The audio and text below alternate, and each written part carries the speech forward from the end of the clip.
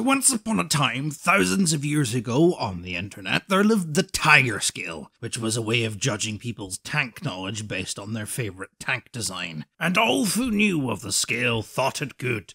For if you asked someone what their favourite tank was, they were obviously going to pick a World War II German tank. I mean, I mean, why would you pick any other? Stop looking over there! Anyway, thus the Tiger Scale ruled in peace, and there was much rejoicing. But then one day, this clammy little fucker came along and said his favourite tank was the Turán. And a thousand nerds angrily rushed to their computers, for no one had even heard of this obscure vehicle. And even worst of all, it was Hungarian.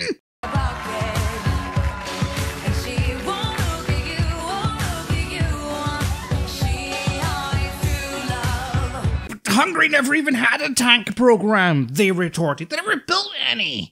Ah, but they did. The answer came, and so was produced fact sheets and data and reels upon reels of information that did indeed prove that this, this heretic, who dared not pick a German vehicle, was being honest. His favorite tank really was the Turán. Calamity ensued. How can we judge people on the knowledge of tanks if it not for the tiger scale? And so a schism broke out. One side proclaimed knowledge of tanks outside the common ones showed a deeper understanding of tank lore and should be placed in a higher tier, and thousands of people chose obscure, weird little tanks as their favorite tanks just to show that they knew more than everybody else. And the other side proclaimed heresy, for what does not fit on the scale does not belong, and those who are picking a different tank that is not on the tiger scale are just trying to show off and be fancy, and therefore should be cast out, out of society. But then, from nowhere, a new faction arose. Emerging from the mud and grime came a whole new way of thinking, and many bowed before its majestic light. It was called the Panther Paradox. But what is the Panther Paradox? What am I asking you for? What would you know? I mean, to explain the paradox, we must first look at its predecessor, the Tiger Scale.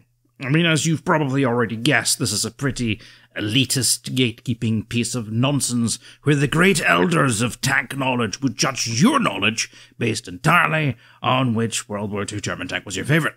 The scale goes as follows. Tier 1 lowest tier was the Tiger tank, popularized by Wehraboos, its effectiveness on the battlefield as one shrouded in myth and legend.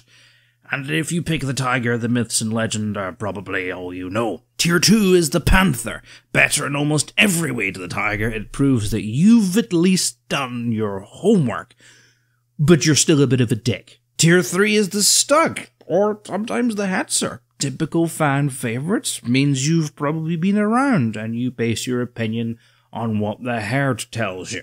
Tier 4, a rare honor, would be granted only if you stated the Panzer III or 4. Statistically, the most effective German tanks in World War II, a fact you'll happily mention in every damn conversation you have. And if you say the Abrams, you were probably just an American fresh out of boot camp and didn't know the names of any other tanks. Now, the intelligent among you may immediately see the problem with proving your level of expertise based on your favorite tank. It's complete bollocks. I mean, many who were aware of this test would just say their favorite tank was the Panzer III just to appease the Elder Gods, and then furiously defend this tank on internet forums as if their life depended on it. Which, if your entire life revolves around discussing armor on web forums, and it kinda does. I used to piss them off by telling them my favorite tank was the Char 2C. I'm not welcome on a lot of forums, I will admit this. Thankfully, we've matured a bit since then, and the scale has fallen out of use, save for in those most obscure niche communities hidden deep within the deep, dark, deepy, dippy, darky swampies of the internet. Looking at you, r slash tank porn, you know what they did.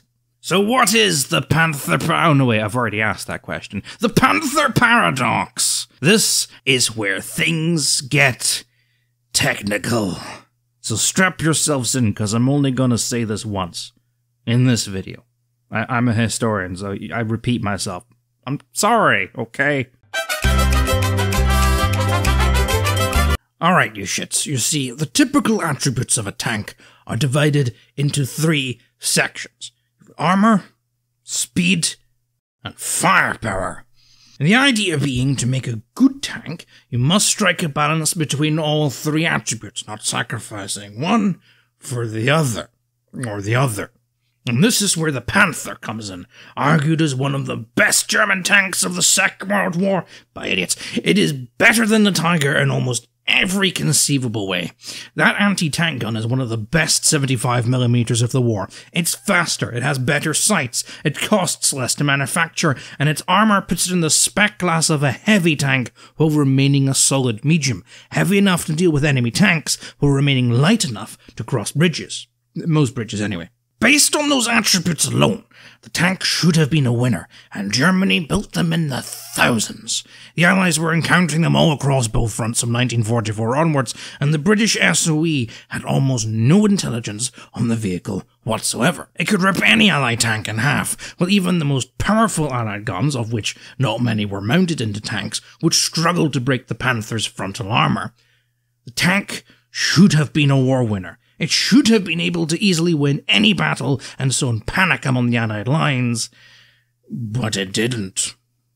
In fact, statistically, this is one of the worst tanks Germany ever built and contributed heavily to their rapid defeat.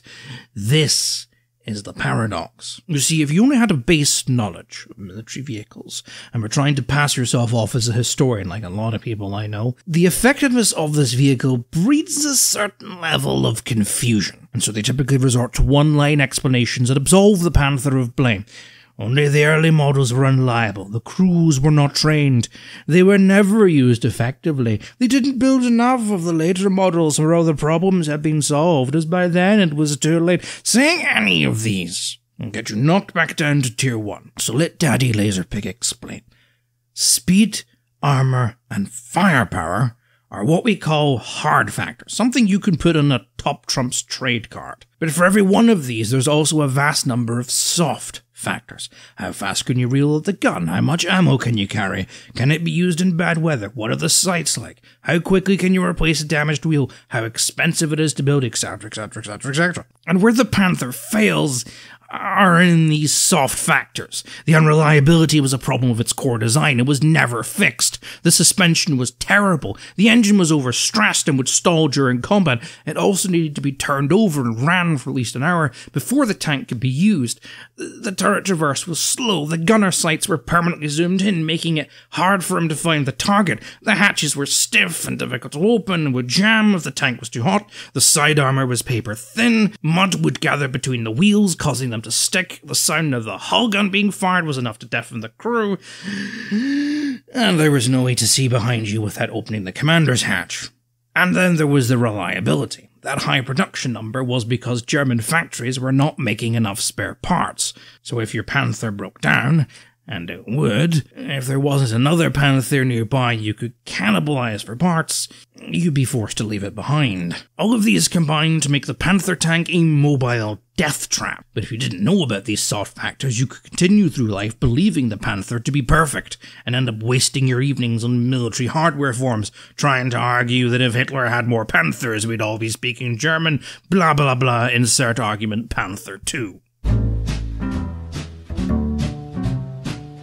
Now, see, this is something the French learned after the war. In an effort to rebuild their army, they went around picking up every one of the many Panther tanks scattered around their country, building spare parts for them, fixing them up, and putting them into service, and found out very quickly that the tanks were not all they'd been hyped up to be, and that extensive modernization was required, by which point it was easier for them just to make their own newer, much better tanks. It's also why tanks like the Sherman, or even a lot of British tanks, did so well, despite it being comically underwhelming in many of the hard factors, where these tanks excel is the soft factors, typically enjoying better sights, better reliability, more comfortable rides, as well as just simply being easier to maintain or not being limited to certain weather types or types of terrain. And such things confuse an amateur, because you've no tiny gun, how can work? As I said in the Bradley Wars, Decades of badly researched historical documentaries, books, and films have popularized the myth of Nazi German technological superiority over the Allies.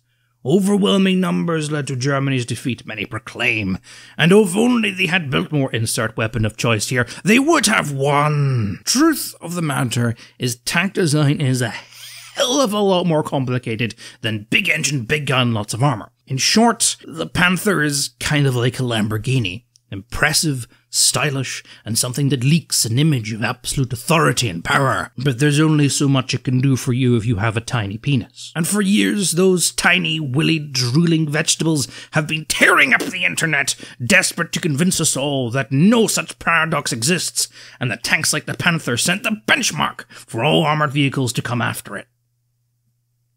In those dark, early days, those of us who knew the truth were ostracized and typically met in secret. Thankfully, in 2010, World of Tanks, who proudly do not sponsor this video, gave tanker fans the chance to finally play their favorite tanks, and boy, did that not go well for them. As many seasoned players of that game will tell you, a lot of players rush to get the Tiger and then rush in thinking their mighty German steel armor will protect them and it, and it doesn't. So they end up screaming and crying and claiming Russian bias or that the game isn't realistic and blah blah blah blah blah. And they're wrong. War Thunder is the game with the Russian bias. You know, considering they're actively funding pro-Russian terrorist groups in Ukraine. But anyway, that's for a different video, and that is the story of the first Thanksgiving. The end.